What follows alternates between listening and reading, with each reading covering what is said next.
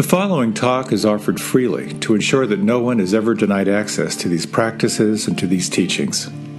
If you feel inspired to make a donation to support this offering, you can go to my website at jonathanfoust.com. While you're there, you can also sign up for a monthly newsletter designed to support you in your practice. Thank you and enjoy.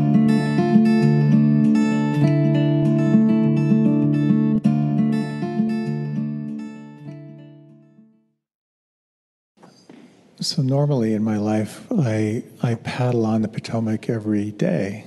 It's a big part of my life.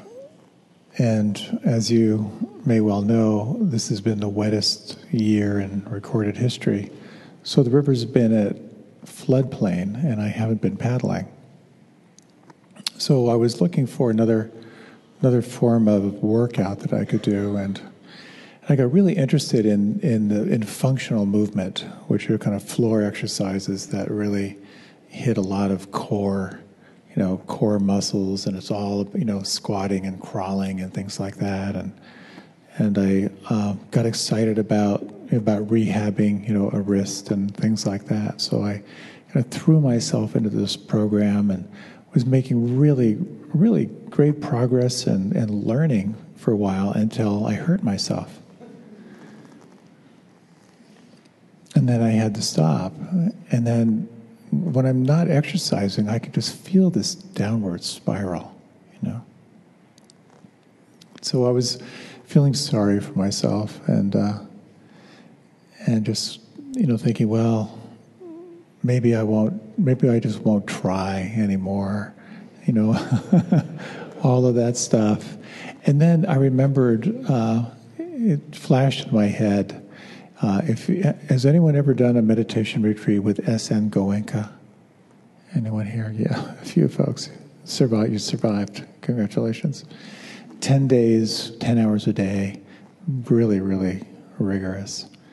And uh, in, in these long sits, you know, and these are quite often. Well, once a day you do what's called the the, the sitting of strong determination, the adhitthana meditation where you sit with the intention not to move a muscle for an hour. And uh, potentially liberating, but mostly excruciating. But, it, but he had a voice, he would talk like this. and uh, in the middle of a meditation, you'd just be sitting, and then you'd hear his voice say, Start again. Start again over and over for 10 days. So I just heard that voice start again. I thought, okay, I guess I got to start again. Have you ever started something with great enthusiasm and lose your focus? No? That's what I'd like to talk a little bit about tonight. The, the art of starting again because it's something we have to get used to because we always traditionally lose lose our focus. So I'd like to talk about one of the foundations of meditation, which is building concentration, which is not sexy, you know, very very powerful, but it's it's a, a quality of willful discipline practice. I'd like to talk a little bit about about the benefits of concentration and also some of the consequences of not focusing in your life. Talk a little bit about the power of resilience and what it means to sort of use your resilience and focus on what you really want in your life.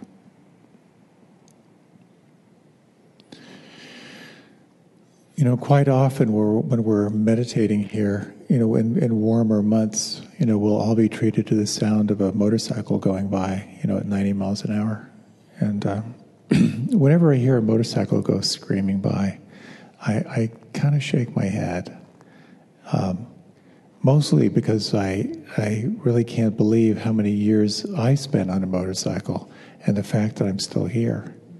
Um, I've, I've definitely hurt myself over uh, over the decades of my love affair with motorcycles. A pretty deep scar uh, in one leg and a wrist that doesn't quite work right from uh, the tail end slipping out in a curve. And if you've ever ridden a motorcycle, um, you know why it's so addicting. It's the closest thing to flying. And in order not to die, you have to really pay attention. And there's something about concentration and flow that you experience on a motorcycle that is really, really fun. And concentration is a doorway to flow states. Uh, it's the key to really finding absorption in whatever you're doing, and you can even argue it's the key to happiness is your capacity to enter into that flow state. And what I've noticed is it's easier to pay attention on a motorcycle than it is in meditation. And so many people have said to me, you know, when they find out I teach meditation, they say, you know, I love yoga, but I hate meditation. Uh, the practice is the same, but when you're when you're in trikonasana, holding on for dear life, it's really easy to be in the moment. But when you have this task of tracking the in breath and the out breath, it's so subtle and it can be kind of infuriating sometimes. But the training that you get through developing concentration is extraordinary. You really, when you're practicing meditation and you are learning how to recognize when awareness is not here and bring it back and re engage, there are a couple ways to look at it. You could say that when you're lost in some thought form or some fantasy, there's some element of stress in that. So when you are aware of that and you come back and you re arrive, you've let go of something. You let go of, of the story or you let go of that emotion of just for a microsecond. But every time you come back, you've also reinforced who you are as the one who is aware. You reinforce this, this sense of, of really being in the seat of the witness, your capacity to observe without judgment, which is the difference between reacting to life and your capacity to respond to life. So, concentration is really powerful. It's focused, staying on one point. And what that requires is that you notice when you're not on point and you start over. And that's pretty much what the practice is. Is learning how to notice when you're not present, coming back and starting over. So I'd like to talk a little bit about, about what occurs when you can really cultivate this capacity to concentrate. But I thought it might be interesting to practice a little bit. When you're, when you're practicing something like yoga or Tai Chi, your anchor is, is somewhat gross. That is to say, the sensations are really strong, so it's easier to stay present to those sensations because they're very, very dominant. And in the practice of meditation, the practice gets more and more subtle. So you're training your attention to, to really pay attention to the subtlest of sensation. And it can seem impossible, but with practice and persistence, you can actually begin to cultivate more of a sense of what's called access concentration, of really accessing the moment through, through one pointed attention. So, generally, we explore different anchors. There's the anchor of the breath. For some, the anchor of sound is a little bit more accessible. Some people find the anchor in the palms of the hands or the soles of the feet to be helpful. Walking meditation you know, the anchors on the sense of the body moving through space or, or the, the placement of the feet on the floor, like that's your focal point. But I'd like to like to guide a little little practice on breath, and just to give just to offer a sense of how how subtle it can be. quite often when you're training in, in the jhanas or the concentration practices, uh, you're bringing your attention to the breath. And rather than on the belly, where the sensations are a little bit more gross, you know, you can really feel the belly rise on the in breath and fall on the out breath, you bring your attention to the nostrils. And then there's an even subtler way you can explore sensation there. So if you like, you can close your eyes.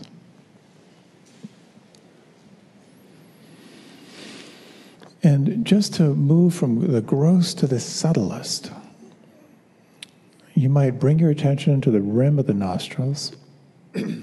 and now inhale slowly to the count of four. And exhale slowly to the count of four. Inhale.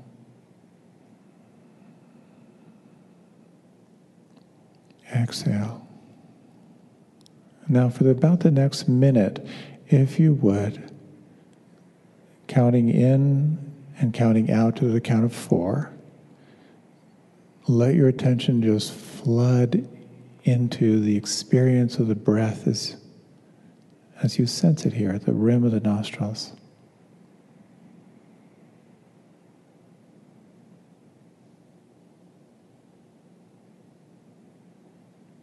In strict concentration practice, when you notice your mind not on point, don't investigate it, just bring it back right on task.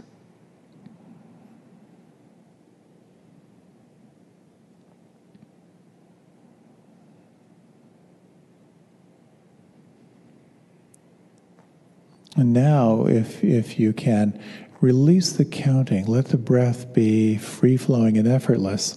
But see if you can sustain your attention here at the rim of the nostrils. How intimately can you detect the subtlety of what's changing and shifting here?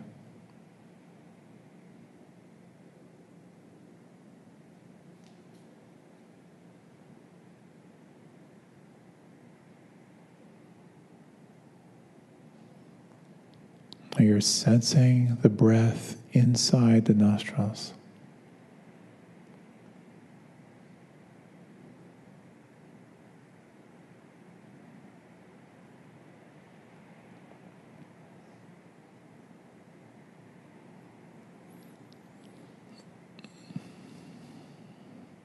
Now we're going to explore an even subtler distinction here in the practice.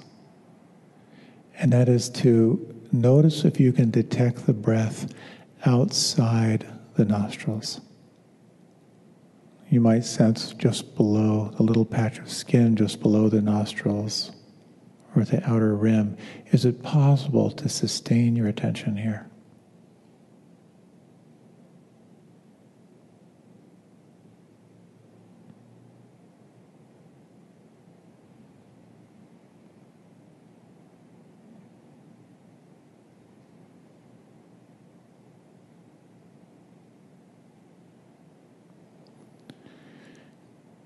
And now release the technique. Just relax and feel. Can you sense any shift inside, any imprint from this practice?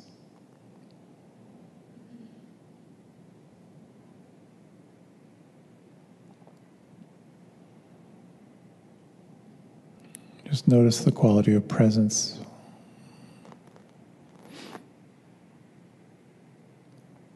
And then if you like, you can now deepen your breath and and if you like, you can open your eyes or you can remain with them closed.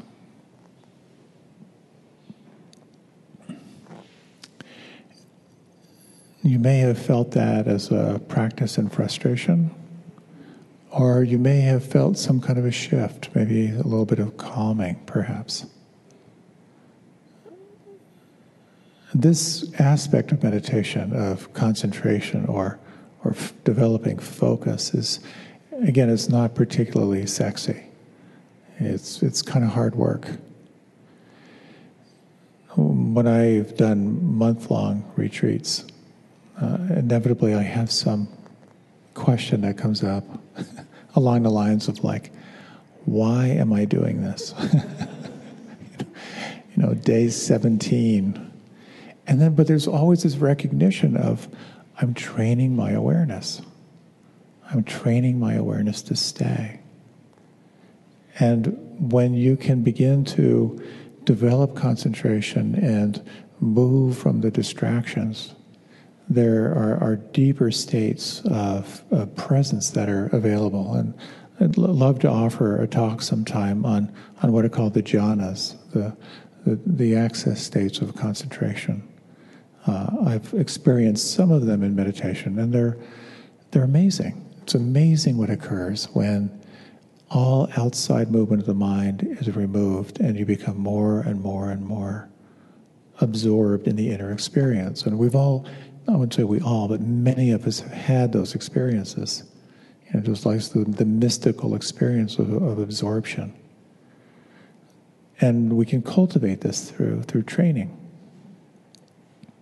And a lot of good comes out of it. You you learn how to sustain your attention you can calm the mind when it gets disturbed. You can move to deeper levels of awareness. You're strengthening your capacity to witness rather than react. You're learning how to disidentify from the moment, but just to experience the raw data of what's here. And it sets the stage for deeper inquiry. You know, from this place of very, very deep presence quite often, and I, I mention it quite often as a pointing out instruction in meditation, that there's sometimes this, this shift from being able to really sense the foreground of your anchor. That you're, you're deeply absorbed in the movement of the breath, but you can also begin to feel a widening and a broadening of awareness. And you can sense kind of the flow kind of happening in the background. And that, that quality of witnessing and presence and allowing is quite extraordinary. So, developing concentration in, in meditation is a can be quite gratifying, but you're also training yourself to pay attention in life as well. And as you know, concentration allows you to accomplish and achieve a lot. Being able to sustain attention on a particular goal is a tremendous, tremendous skill. And of course, I think it's harder and harder to live a focused, one pointed life these days with everything out there right now. I was reading about this study.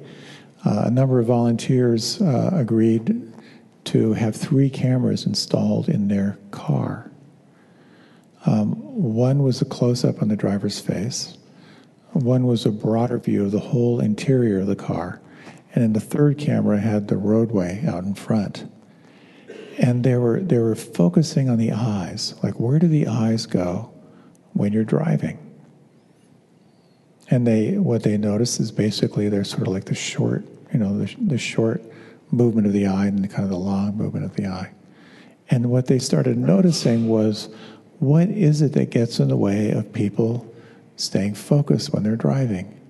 And so they have all these charts of what people did while they were driving, which was dialing, answering, talking on the phone, eating and drinking and spilling food, uh, preparing to eat or drink, manipulating the audio system smoking, reading, writing, grooming, distracted by a baby, distracted by children, distracted by passengers, distracted through conversation, and distracted by leaning and reaching as they're driving.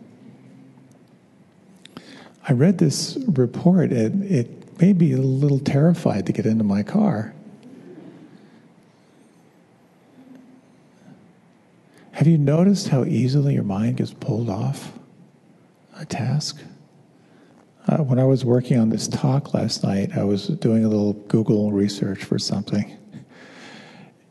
And then later, I had this thought why am I reading an article about Brad Pitt at Jennifer Aniston's 50th birthday party.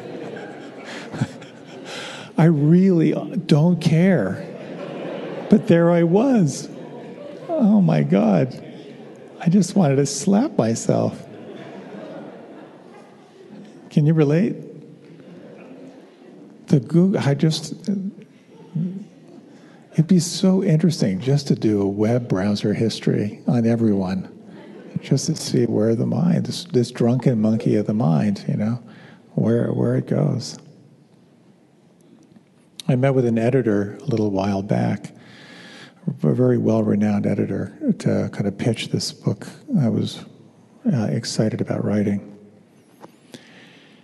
And she was asking me what what what kind of book. She, she's saying, "Well, is it more like a fifty thousand foot view, sort of like a philosophical, or more like a like a a how to, a runway book?" And I said, "It's going to have to be a how to runway book because I I don't have the attention span to write, to, let alone write a fifty thousand book, but read a fifty thousand book." I said, "I don't know what's happened to me, but." You know, I used to love reading long books, and I, I can't sustain my attention. I was so surprised and pleased that you said, "Me too." You know, she said, "I just don't have the patience to, to read anything long anymore." And I think it's happening to us as a culture. And it's not necessarily a bad thing.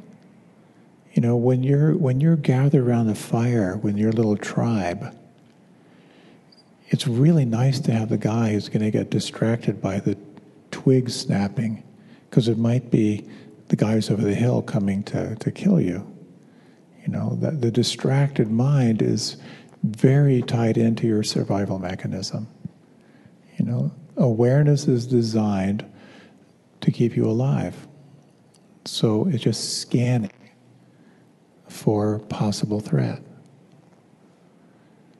So it's not necessarily a bad thing.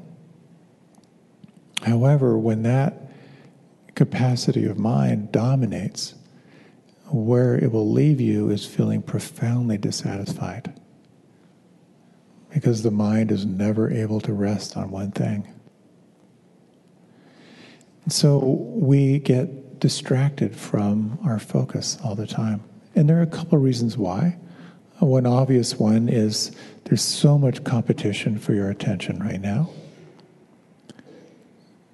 Quite often, we're not really clear what we really want, so we'll get distracted by we, our filter isn't very clear. So we don't have clear goals, or we don't have clear accountability, or we're not tracking what's most important or we, you just have too much responsibility. So you're, you're trying to keep too many plates spinning in your life. So, distraction is part of the makeup of your brain. And if you want to get focused, it becomes something to really look at how, how you can work with that. If you want to accomplish anything in life, you have to come back to discipline and focus and your capacity to start again in, in anything you're doing. And what it comes down to in many ways is, is building your resilience.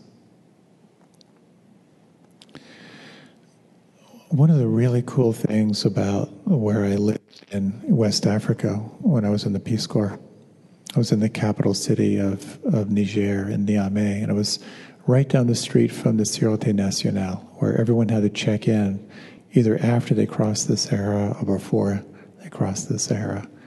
And I had a big, uh, I had a, a, a, big house, and I didn't own anything, so I would oftentimes just meet people, and, and they'd stay at my house for a while.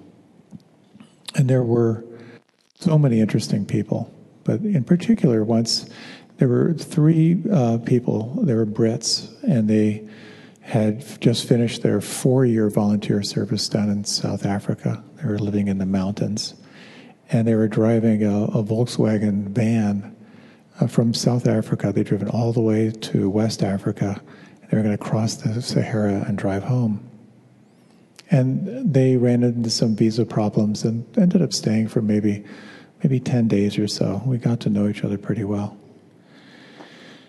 This one fellow told me told me his story. Um, he was teaching way up, way, way up in the mountains, and he was visiting a friend of his uh, who was doing research on gorillas, uh, way, way out in the bush and she was having some problem with her gas stove. You know, one of these, basically a gas cylinder with a burner on top. So he was, you know, crouched down working on it, trying to, you know, clean out the, uh, um, clean something out when it exploded. And uh, he was exploded, you know, right, right at chest level, and you can imagine, you know, horribly, horribly burned and miles and miles and miles from anywhere.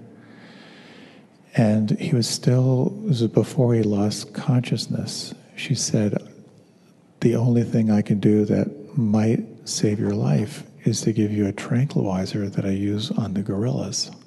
So it's been, never been used on a human. And he said, Do it. And he said, you know, he just drifted away.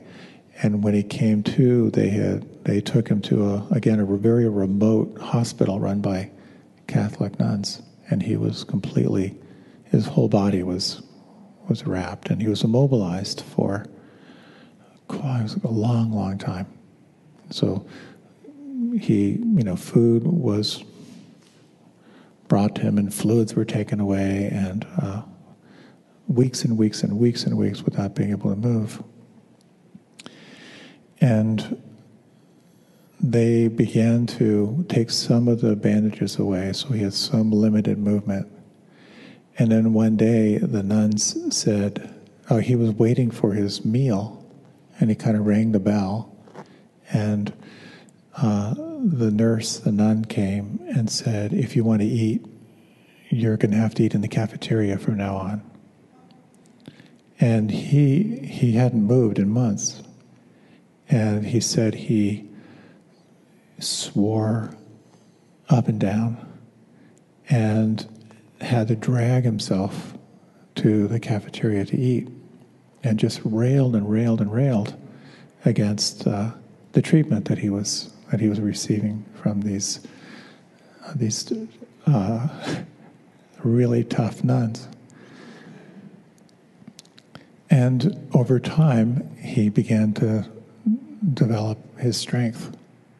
And, and then just spoke of how uh, this incredible awe he had for, for these nuns who, who kind of forced him into moving again. And when I think about the resilience he had to call on when kind of all was lost it really gives me some hope. It gives me, it's a pretty good comparison when I'm moaning about, you know, a little ache and pain that gets in the way of me doing what I want.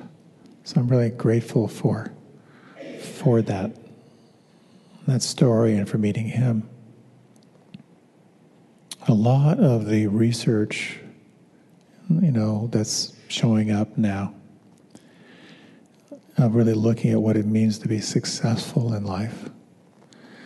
There's no doubt that privilege and education is of inestimable value. But more than raw intelligence, uh, the key to success is resilience. It all comes down to your capacity to regroup and to start again and stay focused on what you want. I've done lots of research in business school, and they did a whole study at West Point. Like, okay, what's the difference between people who graduate with success and those who don't? And it comes down to that resilience, the capacity to just pick up and keep going.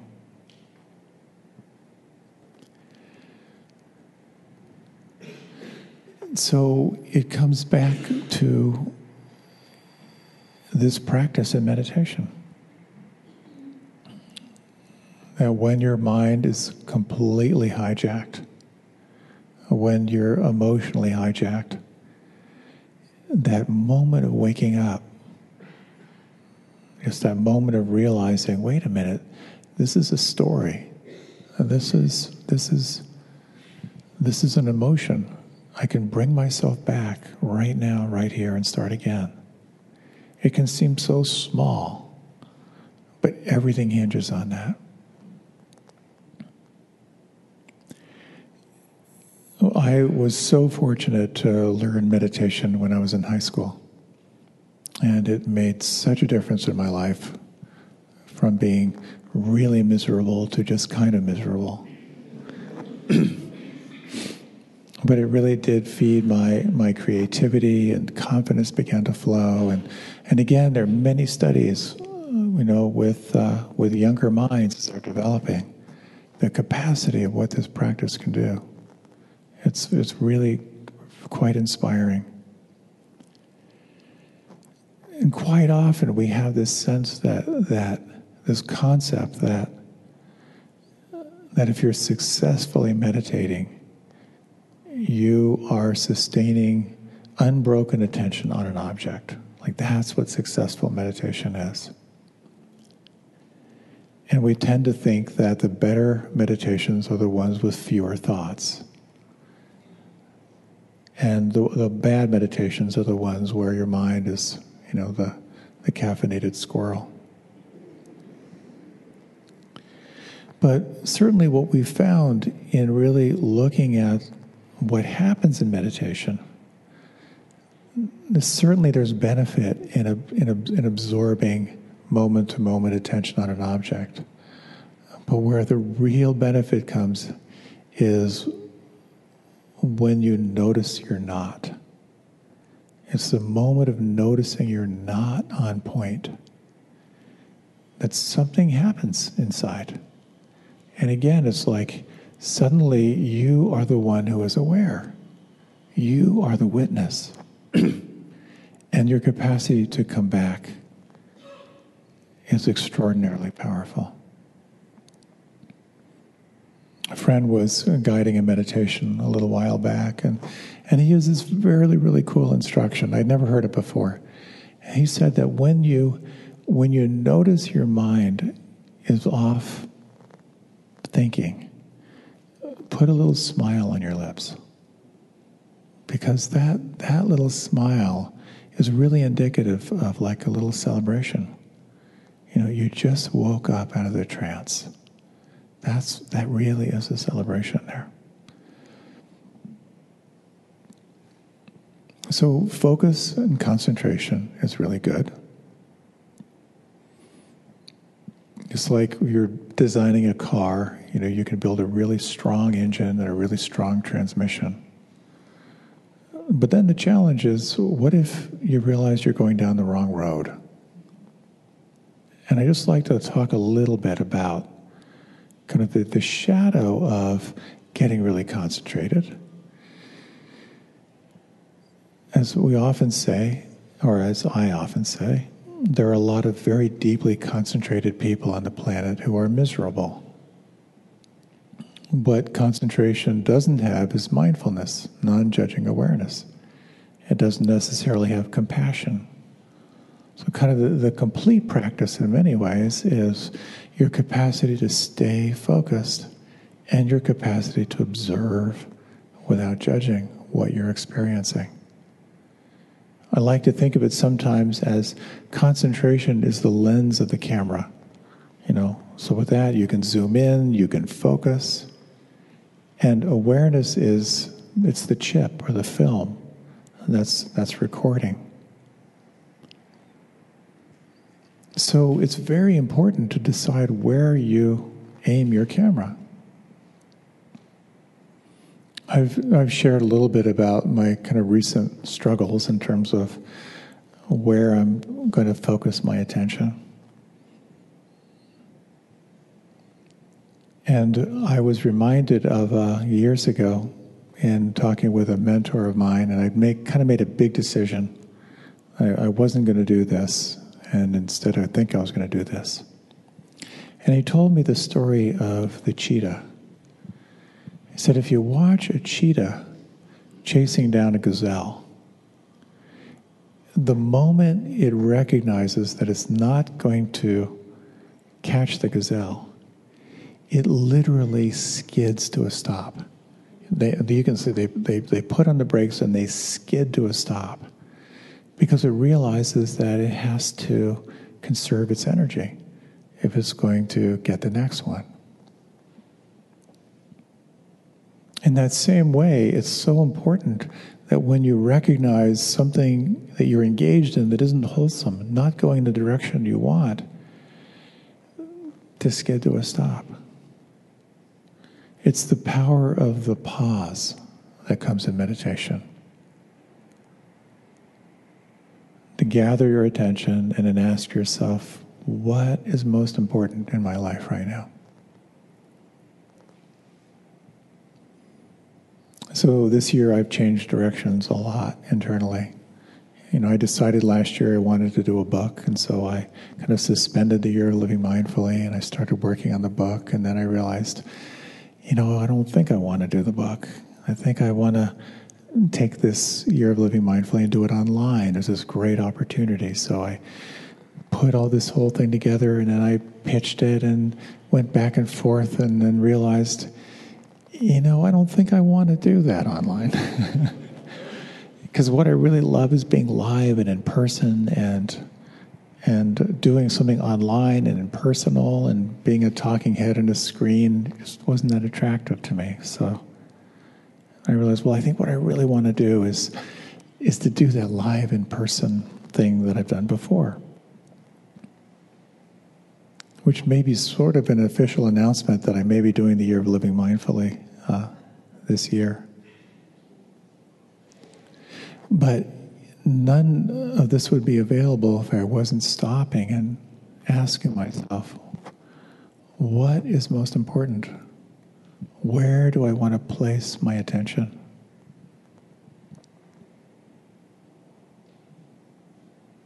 And again, the back to that number one regret of the dying that I wasn't true to myself. That we all have to ask ourselves what is the life that most calls me? And to, to know that, to have that sense, and then to engage so you can again sustain your intention on what's most fulfilling. And what that can lead to is a really deep sense of satisfaction.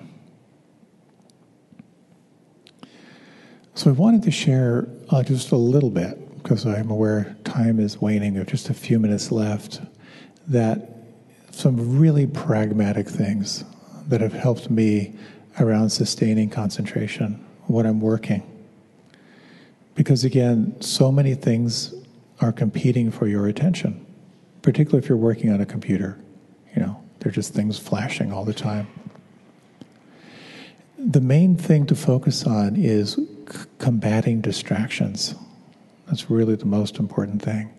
So, what I have found helpful, and what a lot of science has shown, that it's really helpful to focus in short bursts.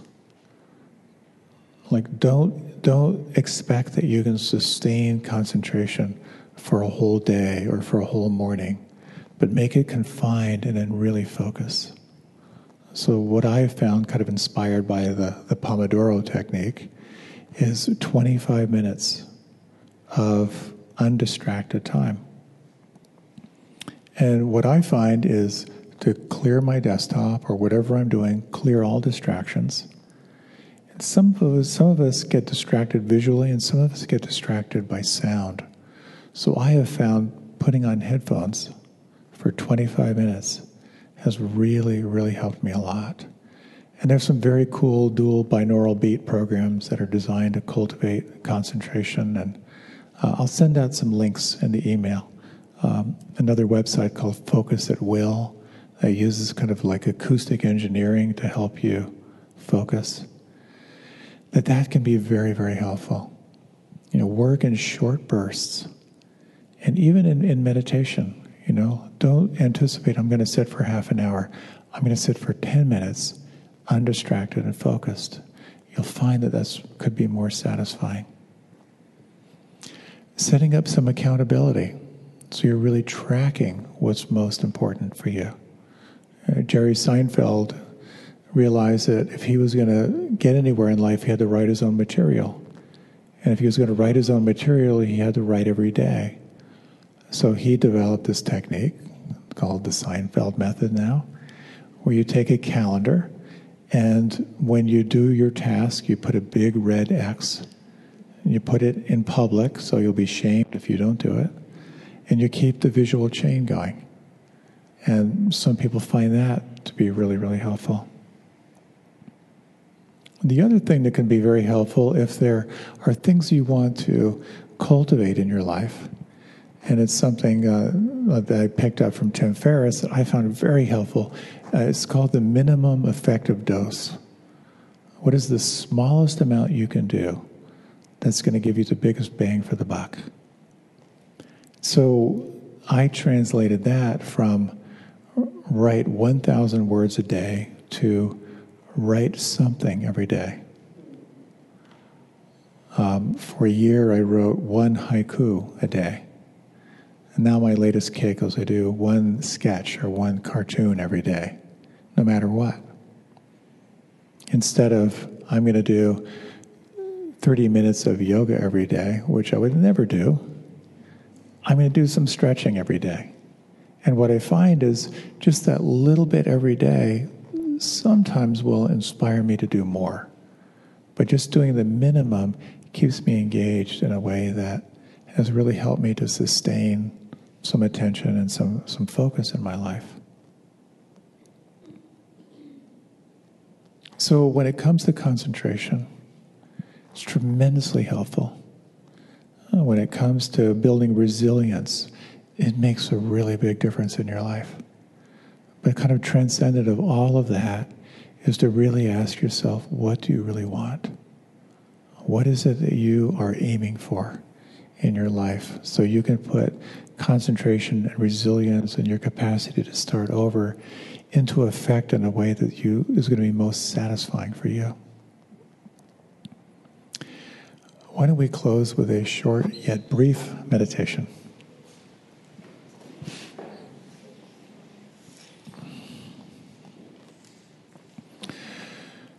So, once again, you might feel the breath. And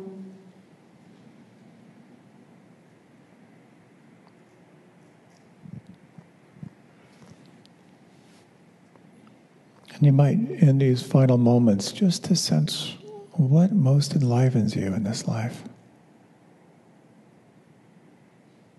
What are the qualities that you would like to cultivate?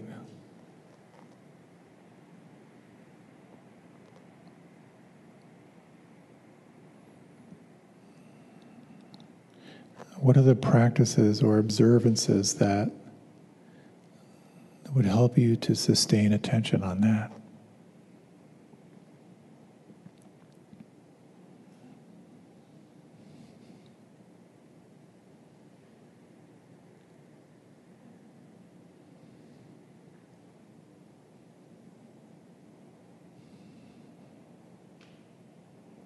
And sensing who you are as the one who is aware.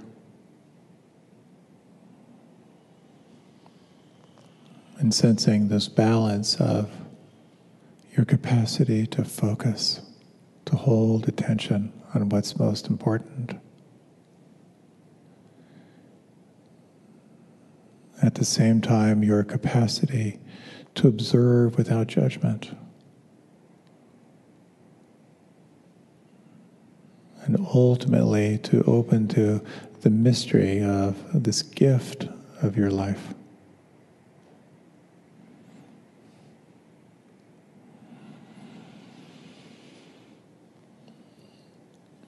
As you're ready, you can deepen your breath. And when you're ready, you can open your eyes.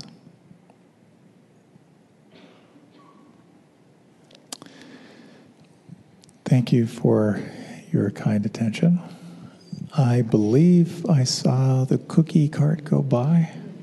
So, uh, if, if by any chance you'd like to, to help out with class to volunteer, uh, Bob is going to be there in the back. I'll be kicking around as well. We have no class next week. It's President's Day. So, I'll see you in two weeks. Um, happy cookie, happy life. See you soon.